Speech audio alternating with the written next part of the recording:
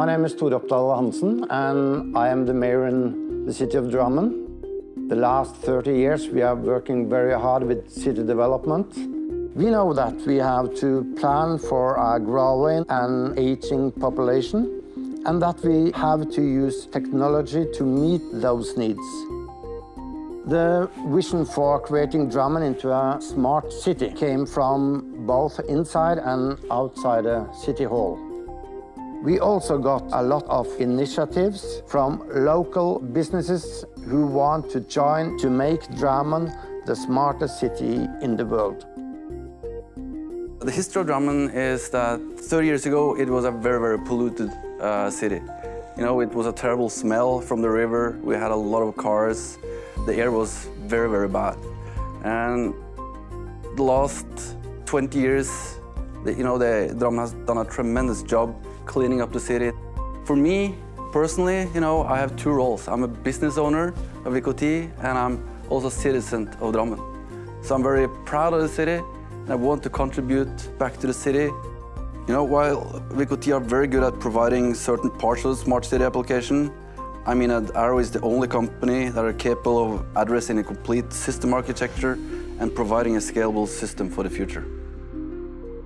So Arrow was really excited to get involved in the Drammen Smart City project because it was very evident from the early meetings that Drammen had a fantastic vision and ambition for what they wanted to do with the smart city, for its citizens, the well-being of these people, the companies and the new investments that were likely to happen in Drammen. And we wanted to be part of that digital transformation.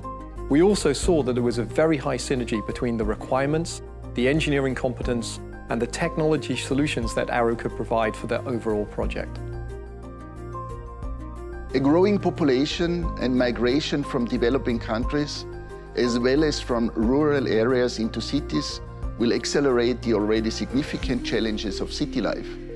Issues such as air pollution, noise pollution, traffic, waste management, housing and the cost of living are all contributing towards the need for a new paradigm for the future.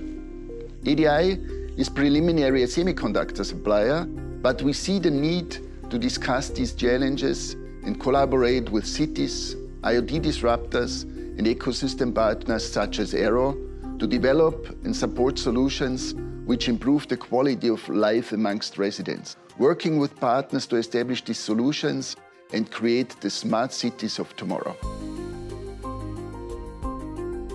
So Arrow's role in helping Drammen achieve their smart city goals is that we are the technology platform provider and the solution aggregator for the overall project.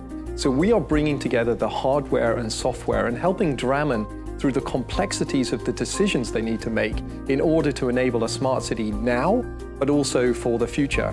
Effectively, Arrow is solving that equation which is technology, performance, cost, system integration, and scalability.